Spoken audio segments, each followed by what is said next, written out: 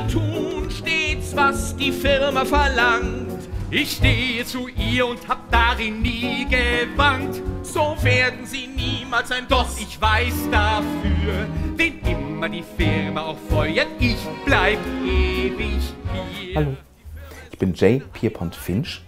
Eigentlich bin ich Fensterputzer. Ich bin Rosemary Pilkington und ich arbeite als Sekretärin bei der World Wide Wapple Company.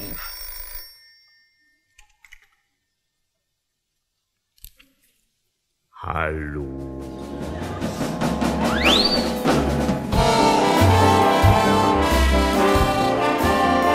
Ich bin Hedi.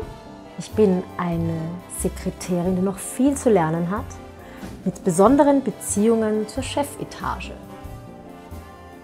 Und ich bin die Chefetage.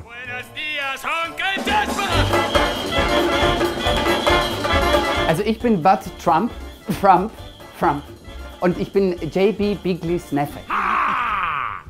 Du hast schon wieder deine Mutter angerufen, weil du befördert werden willst. Warum denn nicht?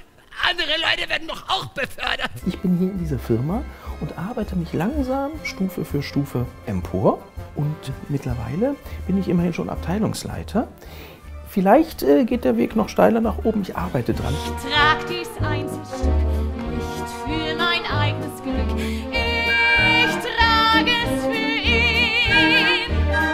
bin eine sehr ehrgeizige Sekretärin, die auf ihre eigene Art und Weise sich hocharbeiten möchte.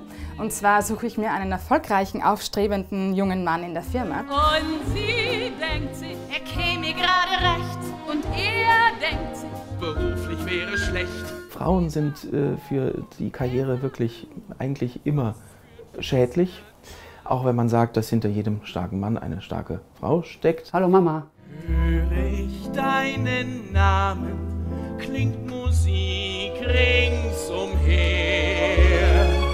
ich höre überhaupt nichts.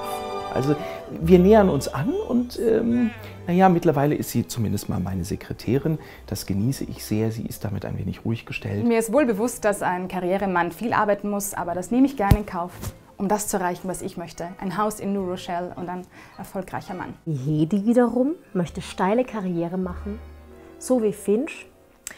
Und sie macht es auf ihre Art. Ich hatte ja keinen Schimmer, was du für mich fühlst. Das weiß niemand, aber ich bin extrem emotional. Ich doch auch.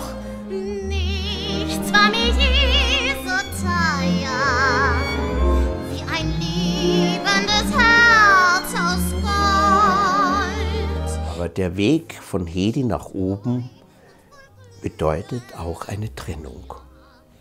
Von mir. Ich weiß, Berli, Geh auf. nimm's nicht persönlich. Zeit zu Zeit